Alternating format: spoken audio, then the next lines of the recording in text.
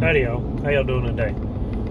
Welcome to that another episode of Country Fixin. Today we're going to talk about my wife's pregnancy cravings. Here really recently, we found out that she's pregnant, which is awesome. Been a long time coming. But uh the other day she woke up, she's like, you know what I want? She's like, I want you to drive down to Thomasville Chandler's and I want you to give me the Philly cheesesteak. And then when you get done with that, swing on, come on the way back, swing on by the Chick-fil-A and uh, pick me up some of them their fries they got and a, and a cherry coke.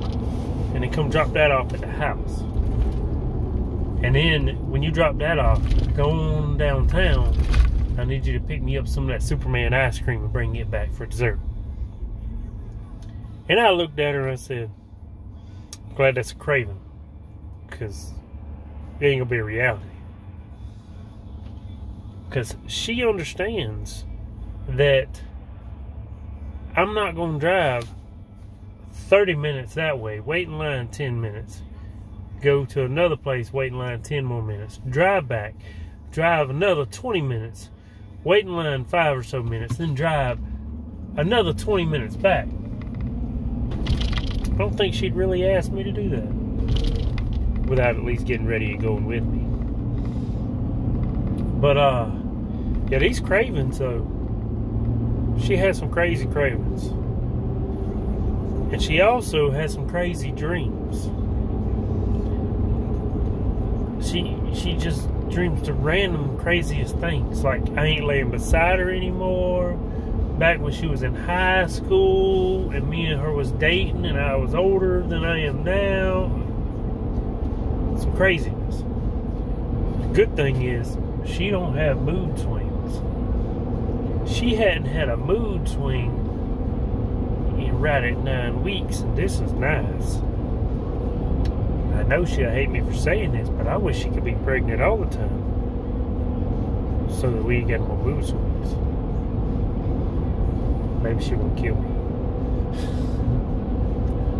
But uh, when you get pregnant, when she gets pregnant, sorry, y'all know what I mean.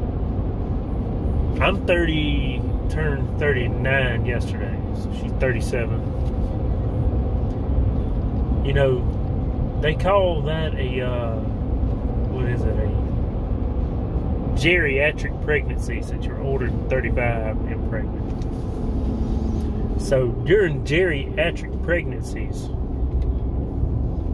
that they tend to be a little rougher, I guess. Or hers is. Our first daughter, she's she's 16 in January.